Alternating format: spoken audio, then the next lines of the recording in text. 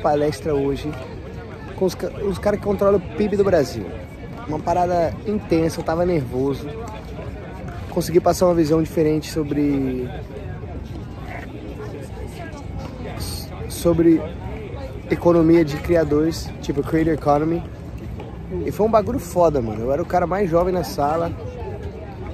Um monte de cara tipo CEO, os caras têm milhões e milhões e milhões e milhões para investir. Os caras são os caras que tipo controla muita empresa, muita startup, muita coisa foda no Brasil. Então, ele teve um lado business aí diferente, sabe? Caralho, Marca, que porra é essa aqui? Slash azul. Mano, Fica me trolando. Isso. Buceta é essa? Vamos ver. Não me grava não, velho, que eu tô gordo. Tá saudável, mano, tá comendo.